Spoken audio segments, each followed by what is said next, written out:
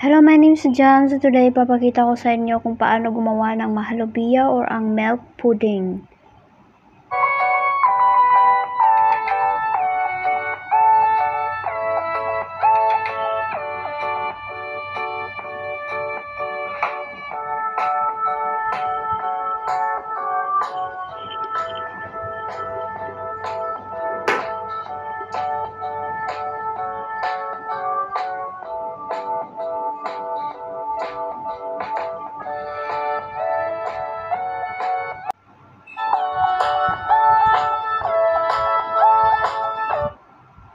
Nandito na po ang ating ingredients. So, meron tayong isang 1 Arabic coffee cup, about uh, 3 tablespoon of sugar, and 1 Arabic coffee cup of cornstarch, and 1 Arabic coffee cup of milk powder, 1 tablespoon rose water, 5 ml fresh milk, and 1 glass of water. So, meron tayong peach, mamaya-maya natin gagawin. Ayan po lahat ng uh, kailangan natin.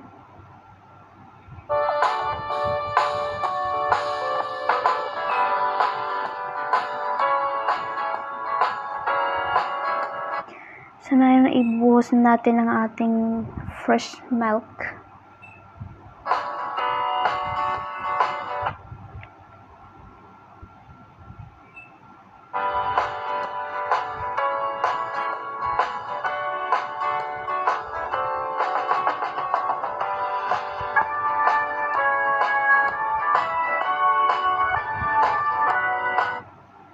Mamaya-maya haluin na natin. Idagdag natin ang tubig. So, ayan po. Rose water.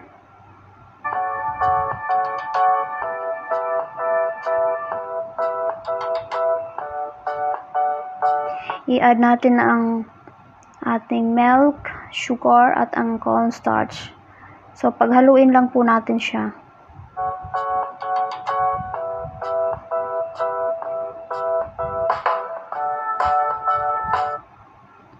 So, ayan siya. Tingnan nyo. Haluin na lang natin yan.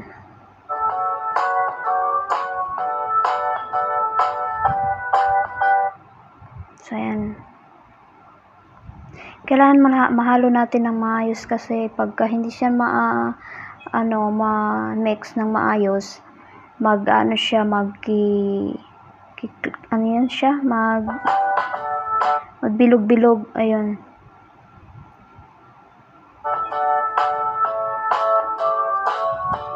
Ayan. Ayan siya So, now, ipapainit na natin ang ating fresh milk at ang pinaghalong ingredients.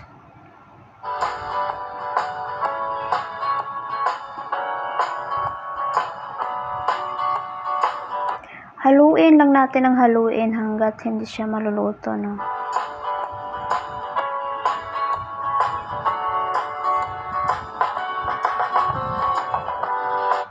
Ayan. So, nangangamoy na siya. Sobra.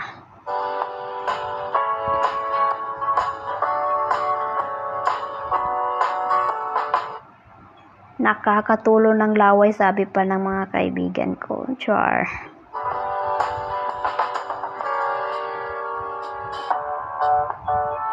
Napakasarap ng ano pagka ano itong pang dessert natin itong pudding. Saka isa pa madali lang siyang gawin. Haluin lang na natin ng haluin hanggat hindi siya maluluto.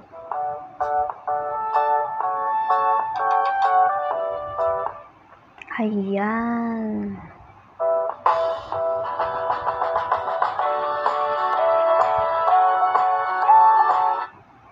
Mas masarap kasi, ma mas magandang pagluto pagka gano'n siya. Hinahalo siya ng maayos.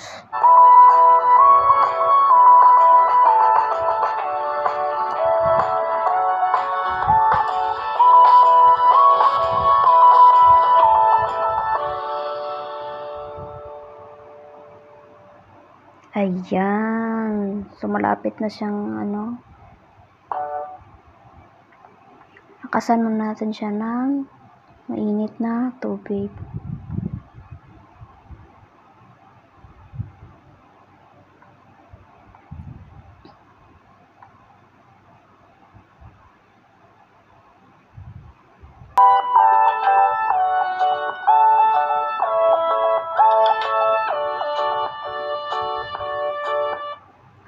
Kumukulo na siya. Huwag natin hintuan ng pag uh, anong pag uh, pag-mix.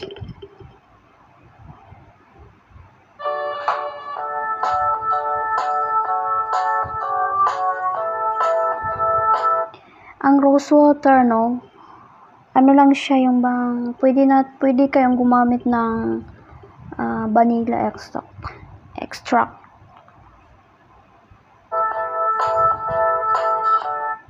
Ayan, malapit na siya.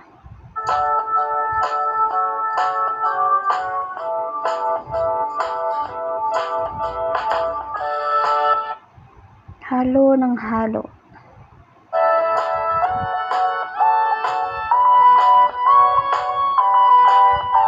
Haluin ng haluin hanggat hindi maluluto na.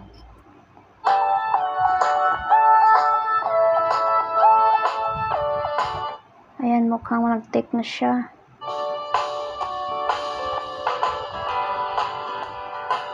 Parang medyo okay na siya, no?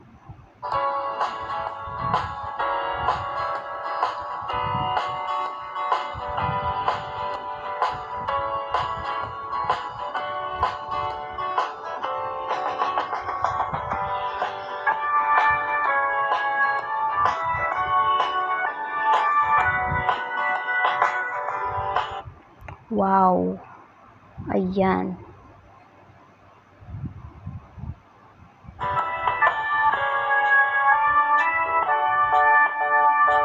So, ayan, i-turn on na natin, turn off na natin ang ating fire. So, isasalain na lang natin siya.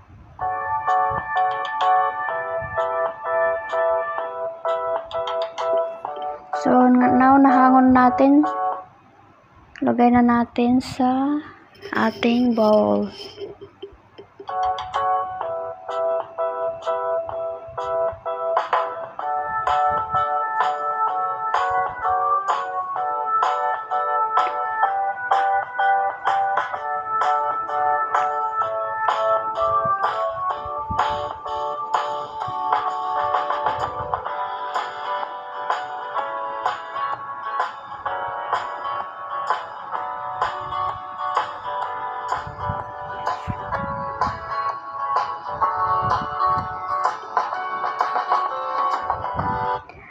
Mas maganda pag sinala natin ang ating mahalbiya kasi pagka hindi siya nasalat may may meron siyang bilog-bilog.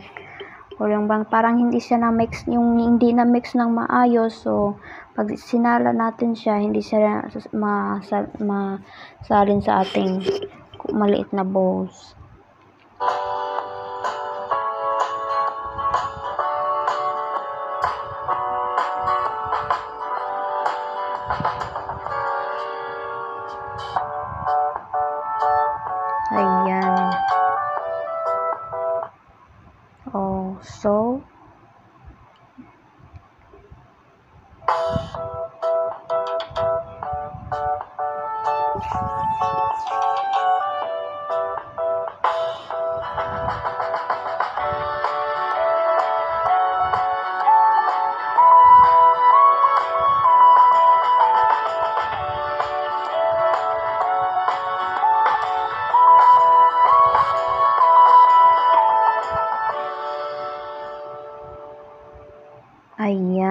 So, patapos ng ating first step na ma mahalbiya.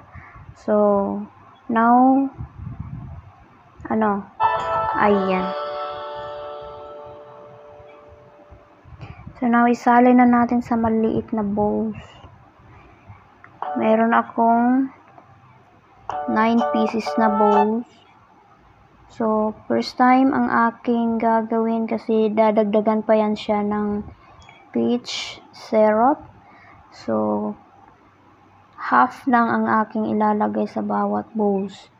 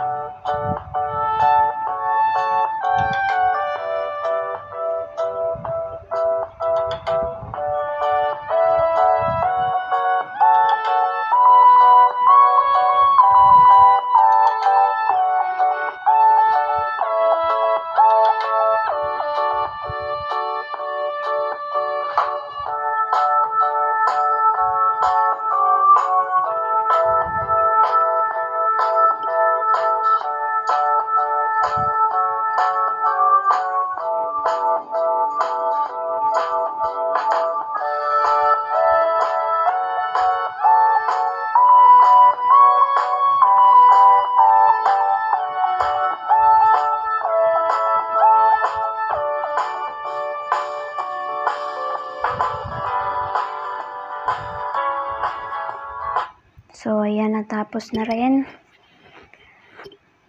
Ang ginawa ko dito ay itong dalawang dalaw, dalawang boost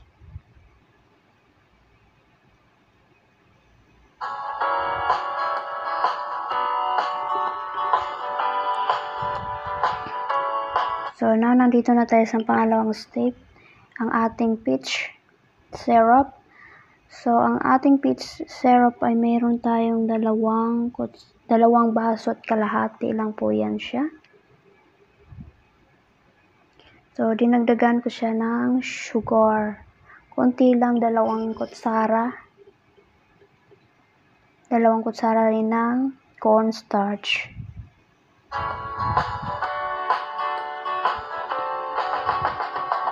So, now, hahaluin natin. Ayan. Haluin natin siya ng maayos kasi pagka hindi siya na, na mix ng maayos, yung ang ating ang ating cornstarch ay mag-separate siya.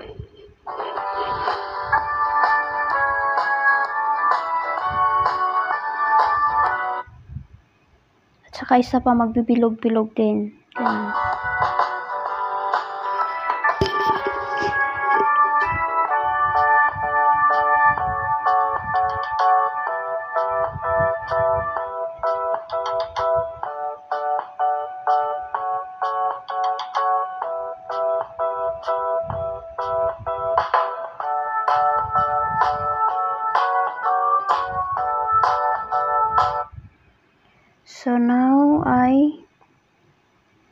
Na-mix na siya ng maayos. So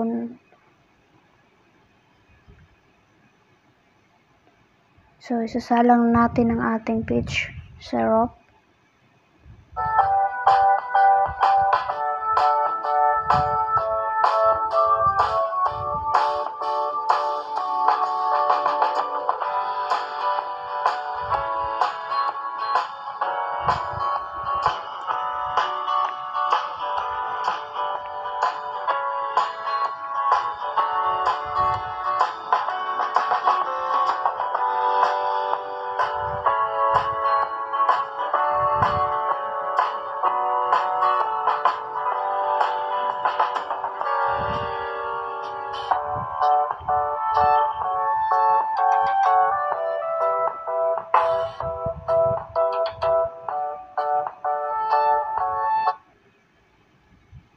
Gagawin natin dito ay kagaya rin ng ating ginawa kanina sa may mahalubi, eh, sa may yung white mahlabiya.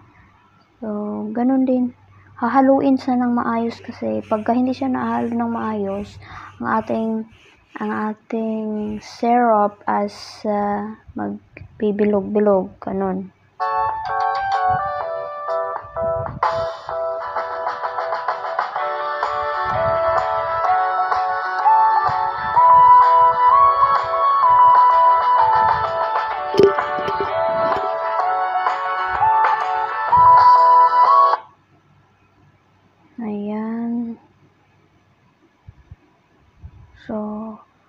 Hintayin na natin siyang kumulo, no? Kasi na, ayan, na-mix na siya. So, anuhin na lang natin siya. Hmm, hintayin na natin mag kumulo.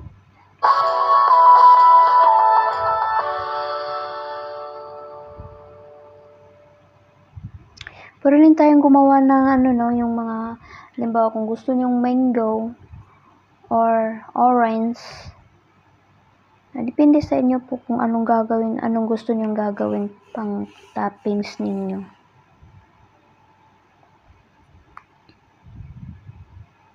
Ayan. So, nangangamoy na siya, no? So, hintayin na natin siyang kumulo.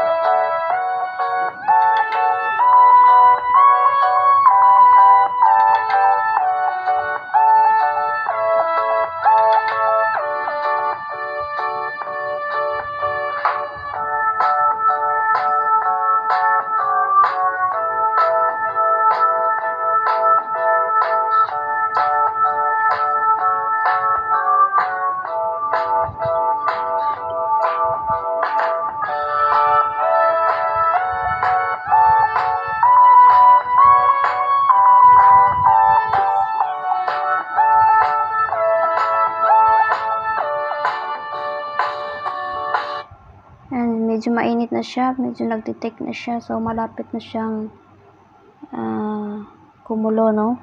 Ayan.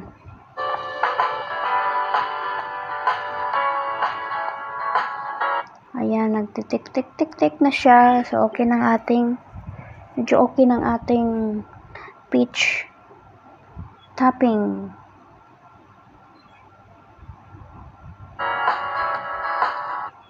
Ayan. So, okay na siya. So, pwede nating isalang sa ating bowl.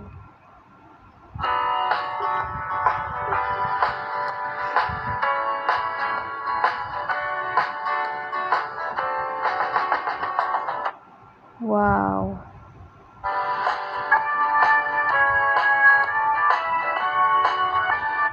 So now, ayan. So isasalang na natin ano?